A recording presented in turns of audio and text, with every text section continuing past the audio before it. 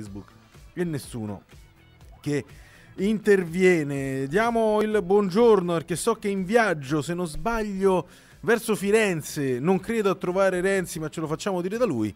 Mario Dinolfi, presidente del Popolo della Famiglia, buongiorno. Buongiorno, buongiorno a voi. Sei verso Firenze, no? Stai andando? Esattamente, esattamente verso Firenze. Oggi perché è una giornata molto importante. Molto... Ecco, in un giorno in cui si parla eh, del, di questa protesta, di questo sciopero, il, Glo- il Global Strike for the Future, eh, oggi si, verrà, eh, si, si, riparlerà e si presenterà il reddito di maternità, che è la battaglia principale del popolo della famiglia, che per voi, Mario, è una proposta per il futuro del nostro, Beh, dell'Italia, quantomeno adesso del pianeta, non volevo esagerare. Più eh, che far nascere bambini, il futuro non so come rappresentarlo. Insomma. Quindi sicuramente il reddito di paternità serve a far nascere bambini e parla di futuro, soprattutto cerca di evitare un futuro triste e desertificato, perché poi dopo insomma, se vogliamo parlare di, di, di ambiente, ecco, questo è un tema molto interessante perché leggevo qualche parlamentare americana molto nota, la Ocasio Cortez. Sì, sì, sì, sì, sì, Che è arrivata a dire che, che, ha un, po di, che ha un po' di contraddizioni comunque.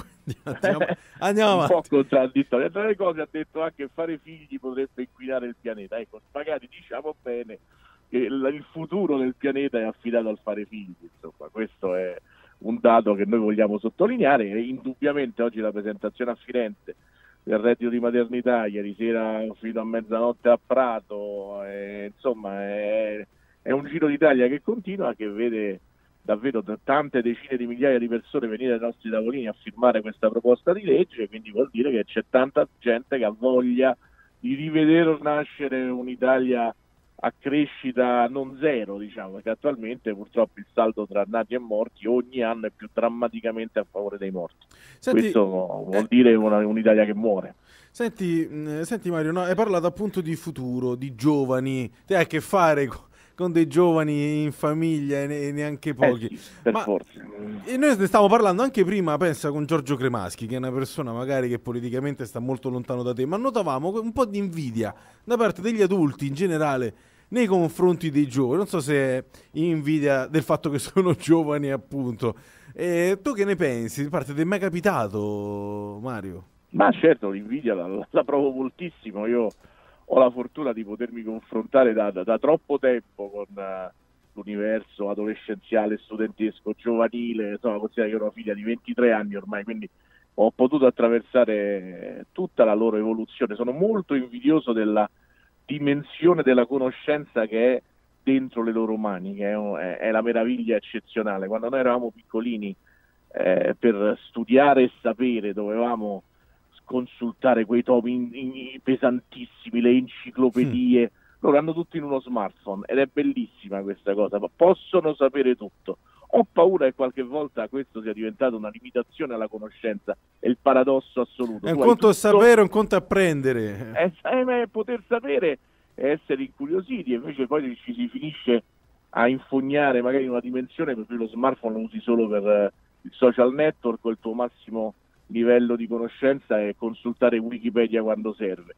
Invece eh, mi piacerebbe, ecco, e da questo non sono invidioso, ma vorrei trasmettere un, un po' di passione, avere dei giovani molto più appassionati di conoscenza rispetto a quello che stanno facendo attualmente. Insomma, mi piacerebbe vederli da questo punto di vista coltivando l'invidia per le potenzialità che sono a loro messe a disposizione vorrei vederle sfruttare al massimo livello possibile. E questo è un bel messaggio, veramente, veramente un bel messaggio, eh, perché poi adesso sembrerà una banalità, ma il futuro è veramente dei, dei più giovani, dobbiamo stare per loro forza. vicini e non criticarli. Eh, ripeto, perché qui diciamo sempre questi non fanno niente, stanno dalla mattina alla sera a giocare eh, sui videogiochi, eccetera, eccetera. Poi una volta che si organizzano fanno uno sciopero per il clima, iniziative e vogliono soltanto saltare un giorno di scuola a questo punto, cioè veramente mettetevi d'accordo. Io non, non, so più, non, so più, cosa dire perché poi, Mario, vedi, noi qui a Radio Cusano Campus ne ospitiamo tanti di ragazzi per l'alternanza scuola-lavoro e, e siamo a contatto con questi giovani tra i 15, 16, 17 anni. Sono molto meglio di come, di come ce li raccontano. Di sicuro, Mario, sono meglio degli adulti che si passano le foto e i video di Giulia Sarti, eh, tra onorevoli giornalisti. Cioè, perché poi sono questi i pulpiti da quali arriva la predica. Mi sono ritrovato ieri dopo il convegno fatto a Prato nella trasmissione televisiva di Paolo Del Debbio a discutere di questa vicenda di Giulia Sarti, ovviamente la questione del, del Giulia Sarti ha la, la, la, la, sua rilevanza ma relativa. Io vorrei sempre ricordare che nella vicenda Giulia Sarti la questione che rimane più problematica è che una persona che era membro della commissione antimafia, poi presidente della commissione giustizia, parlamentare della Repubblica, oltre a imbrogliare sui bonifici, e vabbè, eh, quella la sappiamo, ormai è quello è un problema interno, quello è un problema interno. Benissimo, però hanno, ha fatto questo. Oltre a prendersi, diciamo, un signore che da hacker gli doveva controllare una serie di cose, ha installato una serie di videocamere dentro l'abitazione per filmare chiunque passasse nella sua abitazione. Tra l'altro utilizzando soldi risparmiati, diciamo così, da quei famosi bonifici annullati al Movimento 5 Stelle.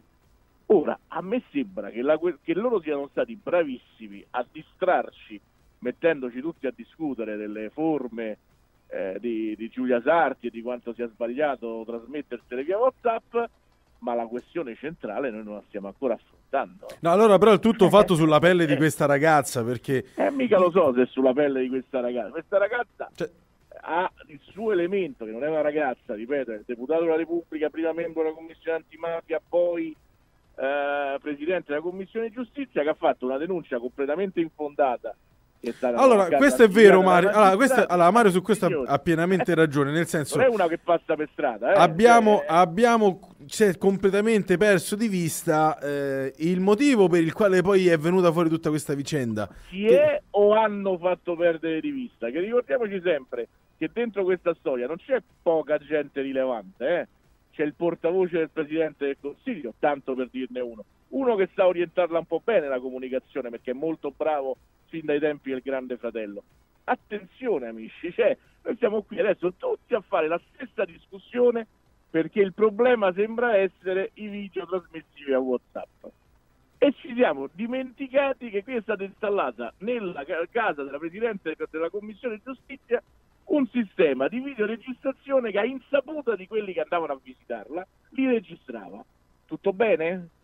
È tutto a posto? Beh, non... Non, non... suscita nessun punto interrogativo? Con allora... videocamere della grandezza di una moneta di 2 euro, questo ci viene comunicato, eh?